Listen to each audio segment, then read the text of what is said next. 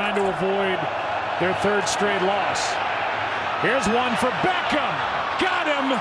Touchdown, Odell Beckham.